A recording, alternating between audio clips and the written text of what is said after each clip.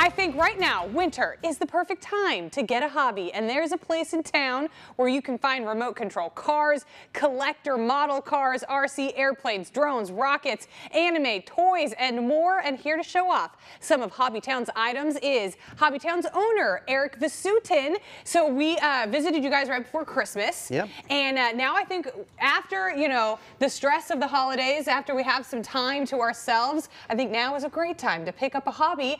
And your hobby is RC cars, and you brought some uh, some toys for Yep. us to play with today. So what did you bring us today? So Emily, we've got a couple things here. We have a really impressive radio controlled tank, uh, fully functional, uh, a Toyota Supra from the Traxxas company um, that we can show you guys. Yep. Okay, so when I was at Hobbytown the last time, I saw one of these, and you were telling me a little bit about it, that it almost functions Oh, and looks just like a Yeah, real tank. yeah, very much okay, so. so show me how it works. Um, well, let's see.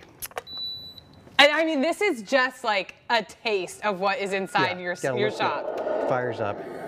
Oh yeah, it's firing up. Yeah, so uh, we've got a, uh, a turret able to move up and down.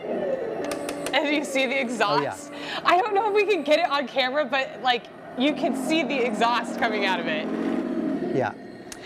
A diesel engine sound. Oh yeah, you know? d- definitely sounds like a diesel Yep. pusher. And it actually shoots stuff too. Oh yeah, so that's the cool thing. Actually, we can, uh, we'll get it off-site here. So, Ah! Oh my god!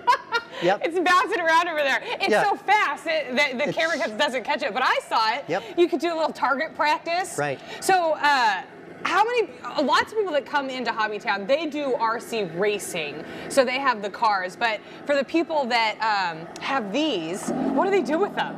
well, believe it or not, this up, up here and this this firing mechanism up top, you know, simulating uh, machine gun fire. Right. You can, if you have two tanks, you got a party. You know? You've got a, a battle, so you can actually dogfight these. Oh yeah, that would be so funny. And okay, so if we if we're really into this, uh, you know, maybe our our significant other or our sibling, they have one of these, we fight with them, but then we break them. What happens then? Oh, all repairable. We've got it all in stock. You know, whatever it might be, a car, a plane, a boat. Uh, yeah, we've got everything that you need to uh, get it back on the road again and get it back in the air. That is what I think is one of the most fun things about getting into RC anything RC vehicles is that when it breaks, it's like a challenge or a puzzle to see how you can fix it. Right. We say uh, play, race, break, Right. You know? I, when I was there, uh, you've got a couple different tracks. So, uh, you know, a few feet back from the store, you have an outdoor RC track. That's right, just behind Barstow. That's And right. you're going to do some actual racing there. We do, actually. Uh, that's coming up in uh, this month of February, actually, in a few Oh, weeks, as a matter of fact.